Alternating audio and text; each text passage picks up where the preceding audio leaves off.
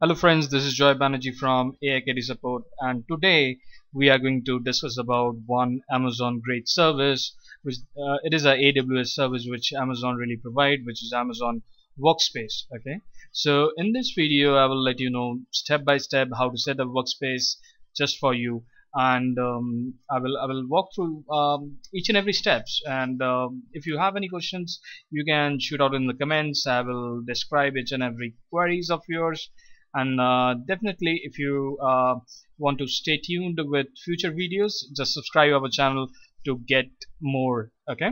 And if you like this just hit the like button okay? So let's start. I'm already logged into my Amazon um, AWS console okay? And uh, what I can do is what we need to do is we need to go to our workspace okay? To find the workspace uh, this is Amazon services either you write up the um, whole uh, service which Amazon gives like workspace here or you can navigate there okay? For workspace you need to go to desktop and app streaming okay? Here you can see there is a workspace okay? So you need to click here.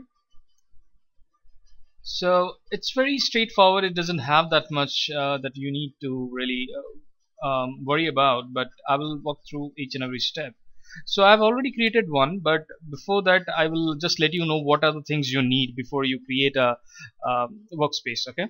So it has a directory service as well okay? If you go to this directory so it has a directory service in which you need to create a directory because here you can see it's a directory. Says by default created. So let's say you want to set up a new directory. So you need to hit a set up new directory and it will give us uh, give you an option to really uh, utilize your own Microsoft AD and create a Microsoft AD here or simple AD so by default I'm using a simple AD which is get created which has required up to 5000 users. That is way way way enough for me. And if it is a small organization then it's great. Okay? So um, it is not going to charge you extra. It is included with the workspace Amazon workspace which you have. Okay so let me go back because I have already created it.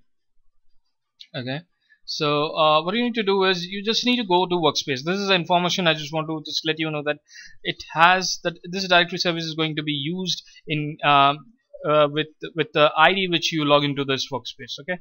So if you go to workspace so you just need to simply just hit launch workspace. Okay so when you launch it it says okay you want to use the existing directory which is there or you want to create a new directory. So we have existing directory. I will go with that and I will hit next step.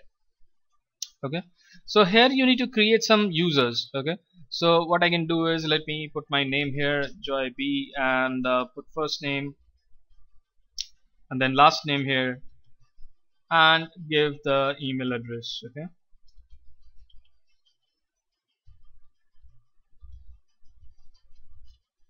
and you will hit create user. Okay? So once it is done you can see uh, it created here and it gives that 20 users can be selected at the time. So at this moment we have one user which I have added. This is the username and this is the user uh, ID on which we will use to log in joy B. Okay? So what now we need to click next step here. Okay? So in the next step you can see these are the options which we can really go for. Okay so either you go for these are these are the two tiers which you get for free. Okay? You can use it.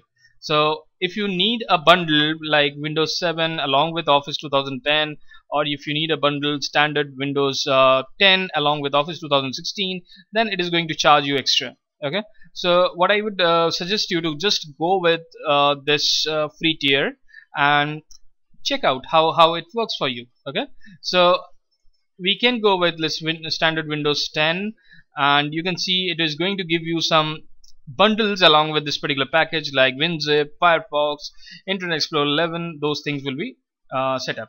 So you will select like this. Let's say we select this uh, Windows 7 here. So it is going to give you two CPUs 4 GB of RAM along with 50 uh, GB of storage but you have wider wide variety of uh, uh, options to choose from. Like you can go to up to 16 GB and 100 GB of space.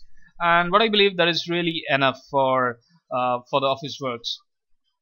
So we have selected Windows 7 uh, we can choose this one Windows 10 and then uh, you will see option called next. Okay? So whatever the option you choose th these are the two options which are free. We can go for. So I will click next. Okay. So now it is giving you a little bit of option which is very um, handy. Okay.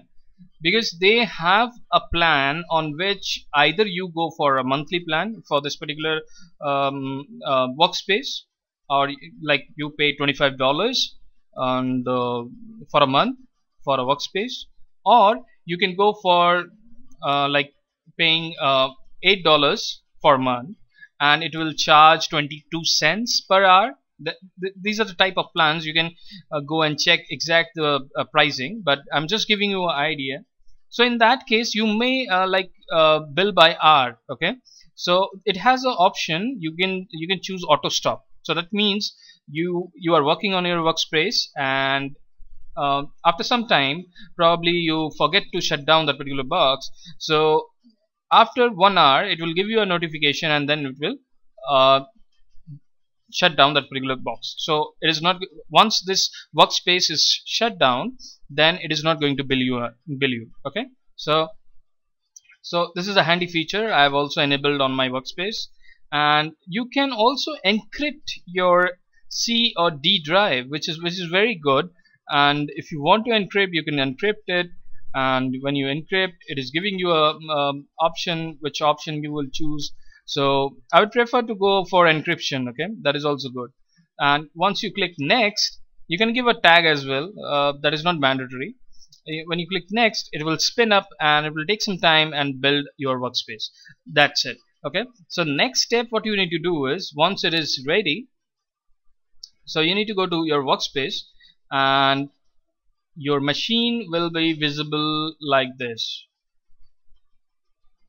like this here okay? So now you can see this machine is ready and uh, uh, it says as stopped. In your case it will show as uh, in progress okay? Once it is ready it will show as it is powered on okay? So or active or available like that status will be okay? So let's say we want to power it on okay I will go to action. I've selected this one. I will go to action and I will hit start workspace and I will hit start. Okay. So now you can see it says okay this is it started and I will do a refresh. It is starting. Okay. It will take some time because what it will happen is when the machine is spinning up it is using a EC2 instance and it is creating a machine then deploying the software of OS and the additional softwares then it will reach uh, it will join to the domain or a directory which you have okay? And then you will have the capability to log in. So once it is created you will get an email okay? That is very important. You get an email. Let me open a screenshot of that particular email because that has some uh, okay. So let me open the screenshot of the email because that has some password which I want to hide up. So this is the email which you get okay so they will uh, tell you to really go step by step okay? The first link you need to click. And once it, you click it will ask you to put the password of your user ID so let's say you can see my user ID is askjoy which I have already put up okay? And now when you click this it will ask you to give the first uh, login credential which you want to set up. So this link is for setting up your password for the first time after that you have a link which has a registration code. So this registration code is required when you are trying to register any device from which you want to access this workspace. That means if you want to access your workspace from your laptop computer you need to register that particular device for the one time okay? So for that you pass this password is required and next thing is this is the URL from which you will download the plugin on which uh, you can launch this uh, workspace and get the access to okay? So we will uh, I have already done this step the first one okay? So now what I'll do is I will do the third step for downloading this app okay? Let me open that um, console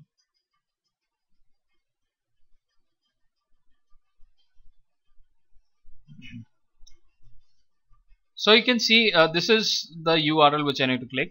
So I will click this. Then it is uh, going to give you an option like if you have Mac OS you can use this one. If you have iPad you can use this one. Windows Android tablet Chrome then Fire Tablet and Web Access. In case you want to launch it from Web Access this is also possible. But I would like to prefer uh, using this one okay for Windows because I'm using a Windows machine so let's download this. Okay? It is asking me to save this. I will click save. And then I will um, go to this location and open this installer. It is a MSI so this will the installer it's very simple. You need to click next. Okay?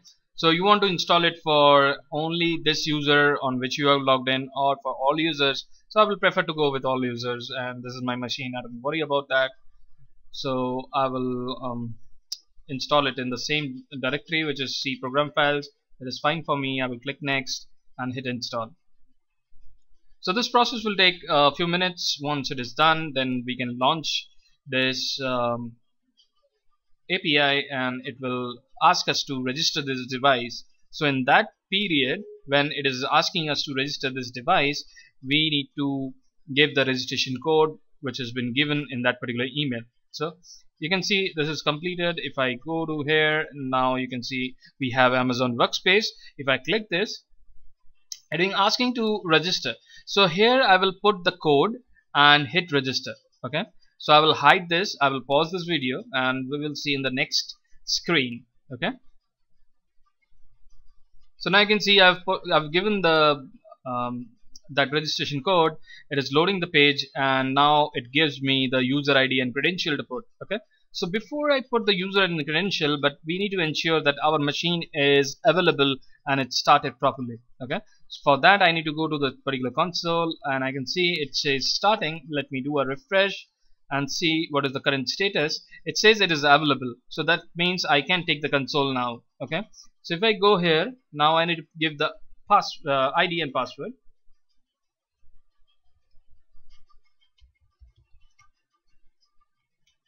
okay? I will hit sign in. So it will authenticate and it will log in. And I just want to click yes this is my machine uh, so that you can remember this uh, machine and the password. So it is launching and it will take few minutes and we will have a workspace there for you so now I can see we have logged into Windows 10 and it is the Amazon workspace which we are running here okay? So if we it's a it's a good uh, what I'm seeing is it's it's it's having a great performance and it also has a capability in which you can really browse and do whatever things you want to do. So if you go to Google and look for our website which is okay,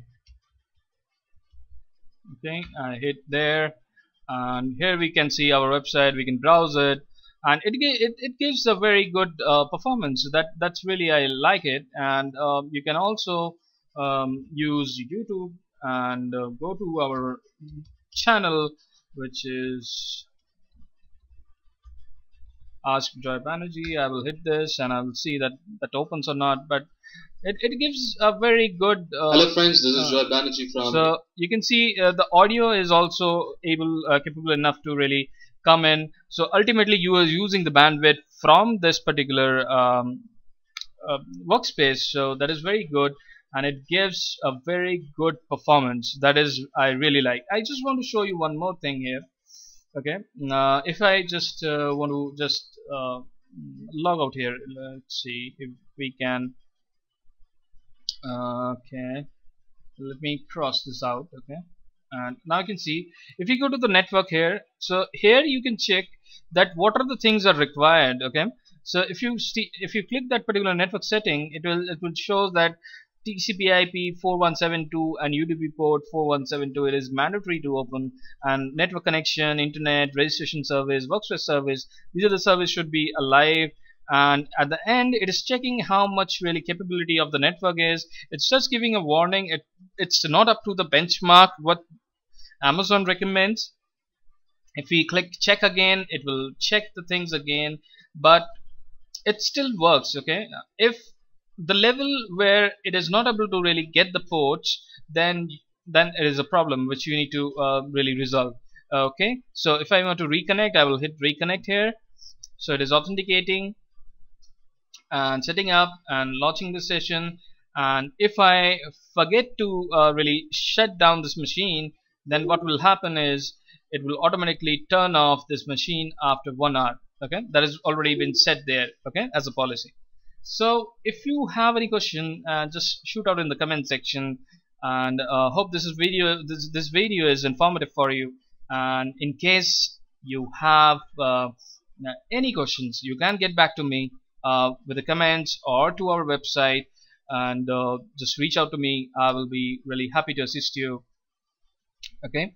And uh, just subscribe my channel. That that is also I want. That that is a booster for me. If you subscribe my channel and thank you very much for watching this video. This is Joy Banerjee signing off from AIK IT support